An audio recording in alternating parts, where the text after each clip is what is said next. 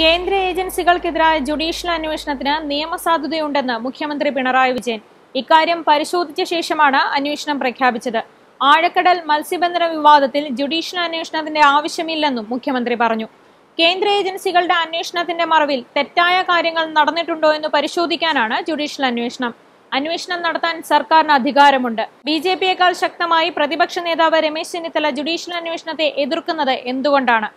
അസ്വസ്ഥനാകാതെ അന്വേഷണത്തെ പിന്തുണയ്ക്കുകയാണ് ചെന്നിത്തല ചെയ്യേണ്ടത്. ആഴക്കടൽ മത്സ്യബന്ധന വിവാദത്തിൽ ജുഡീഷ്യൽ അന്വേഷണം നടത്താനുള്ള ചെന്നിത്തലയുടെ വെല്ലുവിളി മുഖ്യമന്ത്രി സ്വീകരിച്ചില്ല. വിവാദത്തിൽ ഇപ്പോൾ നടക്കുന്ന അന്വേഷണം പര്യാപ്തമാണെന്നായിരുന്നു നിലപാട്. സോളാർ പീഡന കേസിൽ അന്വേഷണം കാര്യക്ഷമമല്ലെന്ന പരാതിയുടെ അടിസ്ഥാനത്തിലാണ് കേസ് സി ബി ഐക്ക് വിട്ടതെന്നും മുഖ്യമന്ത്രി വ്യക്തമാക്കി.